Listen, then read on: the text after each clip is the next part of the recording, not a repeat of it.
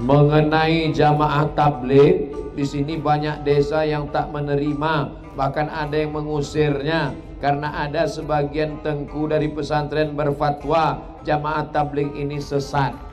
Aceh dikenal dengan tas tafi. Tas tasawuf. Ta tauhid. Fi fikih. Tas tafi tasawuf tauhid fikih. Tasawufnya sunni, bukan falsafi. Itulah tasawuf Abu Hamid Al-Ghazali Ihya Ulumuddin.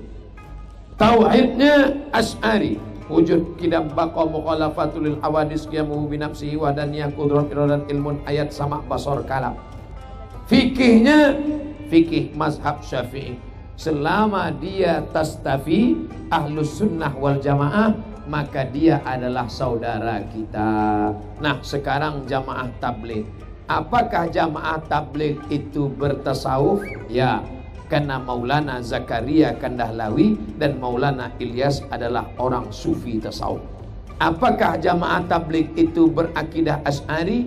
Ya, sebagian guru-guru tasawuf tabligh akidahnya Maturidi karena mereka orang India mazhab fikihnya Hanafi. Apakah orang tas orang tabligh itu bermazhab fikih? Ya, sebagian guru-gurunya Maulana Sa'ad mazhabnya Hanafi, tapi mereka tidak melarang pengikutnya untuk mengamalkan mazhab Syafi'i. Kesimpulannya, jamaah tabligh adalah ahlus sunnah wal jamaah. Saya tak suka dengan tabligh itu Pak Ustaz. Kenapa? Karena jamaah tabligh pakai sorban. Loh, Nabi Muhammad kan pakai sorban. Ustaz kenapa tak pakai sorban? Saya suka pakai peci Aceh. Tas Tafi. Oh, baru saya tahu mereknya Tas Tafi. Tasawuf, tauhid, fikih. Lalu kemudian saya tak suka dengan orang tabligh ini Pak Ustaz. Kenapa tak suka? Karena dia pakai jubah. Loh, Nabi Muhammad pakai jubah. Saya tak suka tabligh ini Pak Ustaz. Kenapa? Karena dia berjenggot. Nabi Muhammad berjenggot. Jangan berkelahi gara-gara jenggot.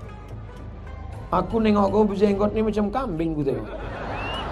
Tentu dia marah. Aku berjenggot kambing, kau tak berjenggot anjing. Ah, bertinju. Kalau antara yang berjenggot dengan tak berjenggot berkelahi, yang ketawa yang tak bercelana.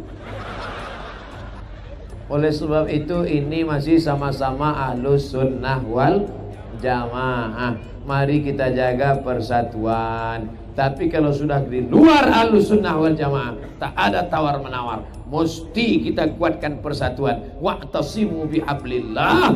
Berpegang teguh dengan jalan Allah. Wala tafarraku. Jangan bercerai-berai. Di kampung saya ada orang jahat, preman, tengik, rambutnya panjang, bertato, punya meja biliar-biliar, ada wanita-wanita nakal. Tak ada orang yang berani melarang dia. Pak Kades takut, Pak Kadus takut, Pak RT takut, Pak RW takut. Pulang saya dari Mesir, sholat di masjid. Imamnya enak sekali bacaannya. Bismillahirrahmanirrahim. Alhamdulillahi. Selesai sholat, rupanya yang punya biliar itu sudah tobat. Lalu saya tanya, gimana ceritanya abang tobat? Abang dulu kan yang rambut panjang, meja biliar, betato, preman, mabuk. Datang jamaah tabligh ke meja biliar saya. Main biliar jamaah tabligh? Enggak. Ngajak sholat. Ustadz tidak pernah datang ke tempat saya ngajak sholat. Yang ngajak sholat ini orang jamaah tabligh. Masuk dia. Pak, ayo sholat ya pak. Jangan masuk-masuk sini. Pergi aja, jangan ajak-ajak kami. Besok dia datang lagi.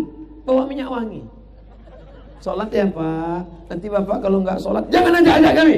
Pergi sana. Besok dia datang lagi. Ayo pak sholat. Nanti bapak mati. Akhirnya orang taubat.